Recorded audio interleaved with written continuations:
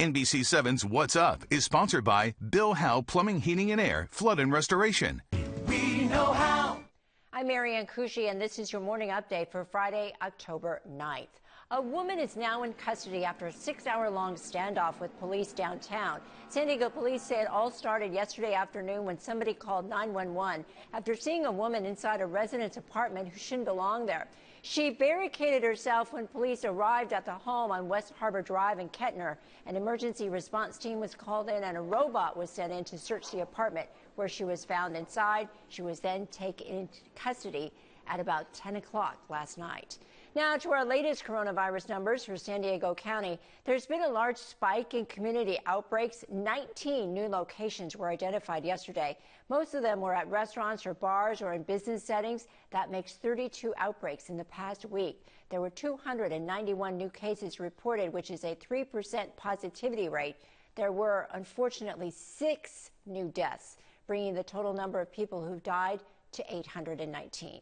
Well, nearly all of Regal cinemas, more than 500 theaters, have now closed their doors temporarily, but seven locations are now staying open here in Southern California. One of them is a theater in Carlsbad.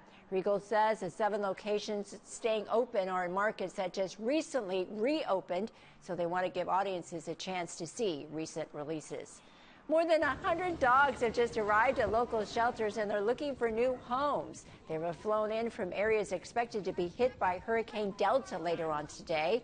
The Humane Society says the dogs are friendly and highly adoptable. Look for a second chance. Looking, that is, for a second chance in San Diego. Aren't they cute?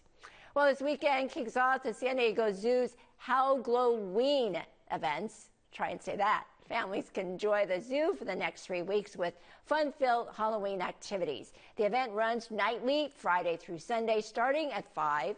All activities and entertainment will be socially distanced and masks will be required.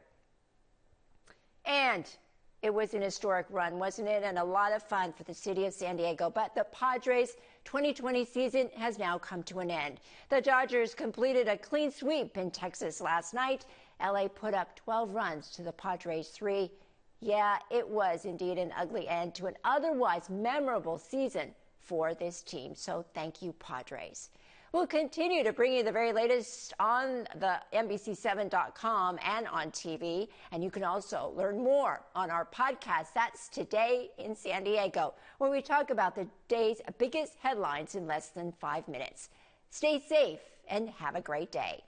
NBC7's What's Up is sponsored by Bill Howe Plumbing, Heating and Air, Flood and Restoration. Call 1 800 Bill Howe. Bill Howe. We know how.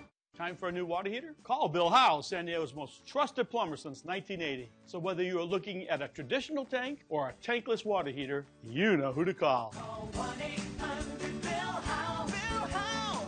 Because We know how.